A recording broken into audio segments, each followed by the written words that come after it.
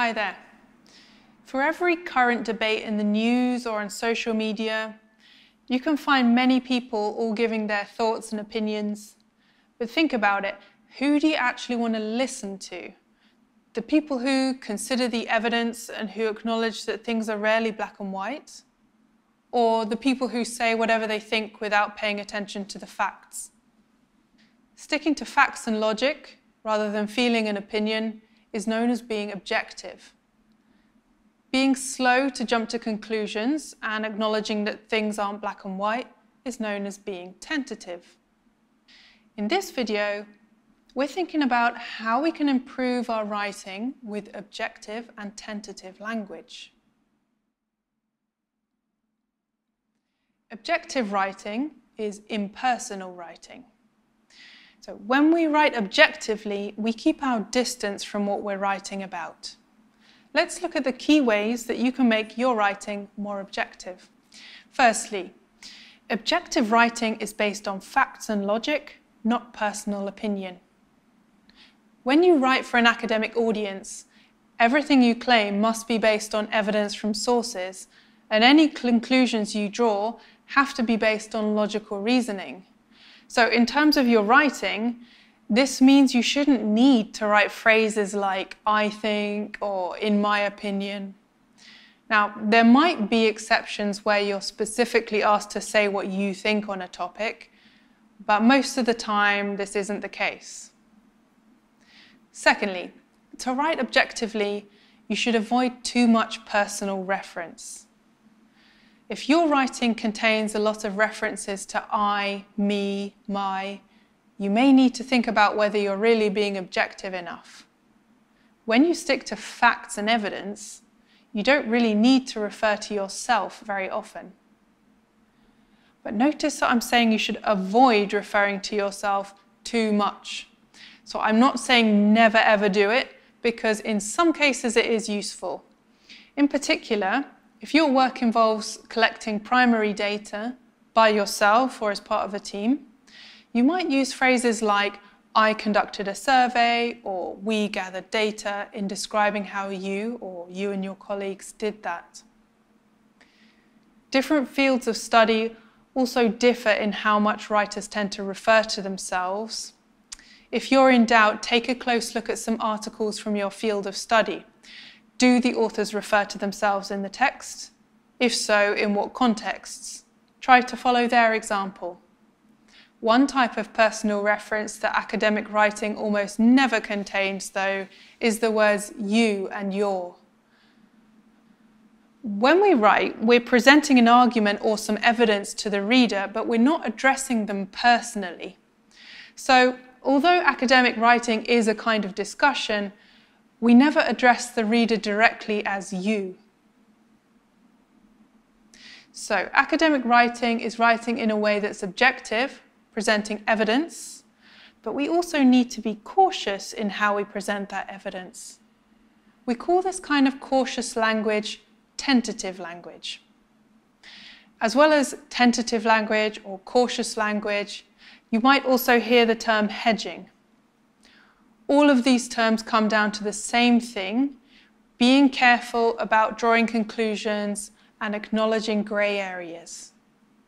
So, why do we need to use cautious or tentative language? Well, you already know by now that not all sources are equally reliable. And you also know that academic research is an ongoing discussion. We don't claim to know all of the facts yet.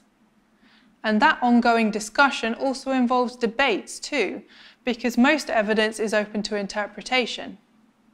However, even with all this uncertainty, we still want to use the sources and build on them to offer our own contribution. Therefore, we use cautious or tentative language to present our sources and evidence because tentative language allows us to use claims and evidence in our writing while still acknowledging all the debate and uncertainty that's out there. To see how to do this, let's take an example. Allowing mobile phones in class leads to low grades. Now, this statement is very bold. It doesn't allow for any exceptions or any grey areas at all. So what that means is, if a reader could show us one class where students used phones and got high grades, we'd be proven wrong. Let's see what happens when we soften this statement. Allowing mobile phones in class may lead to low grades.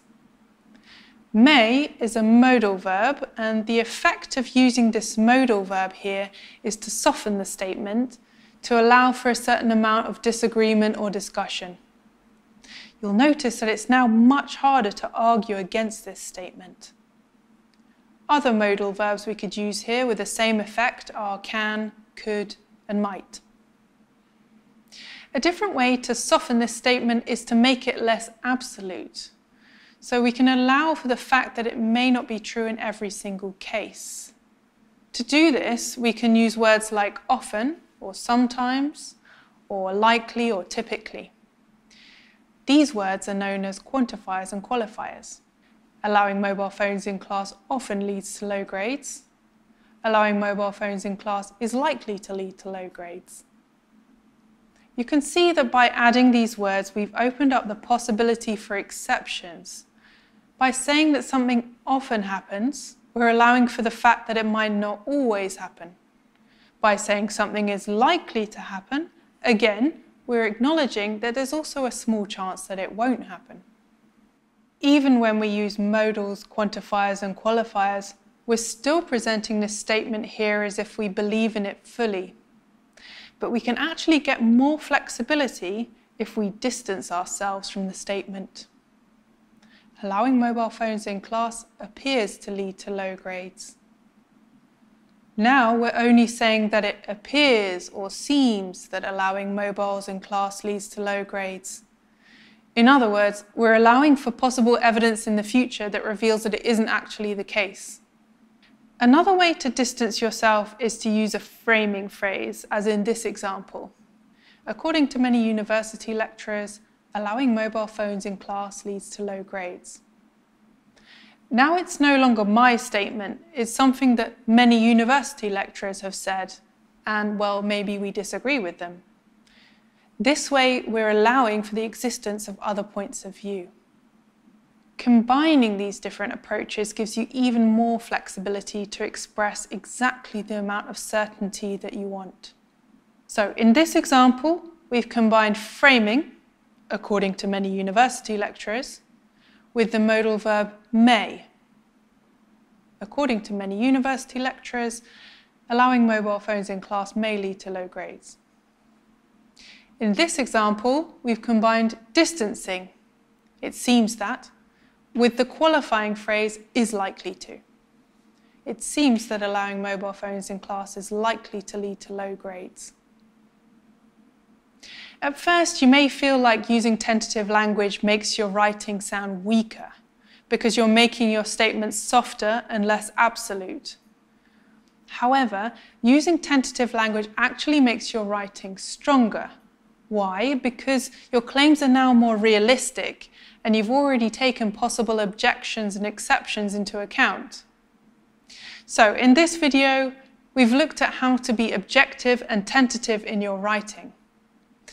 Remember that in academic writing, we always use evidence and logic to make a point, not emotion or opinion.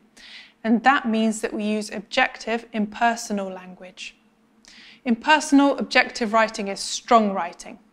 Why? Because it's easy to dismiss personal opinion, but it's much harder to dismiss evidence and logical reasoning. When we combine that with tentative language, we also show that we understand that not everything is black and white. And that makes our writing even stronger. See you next time.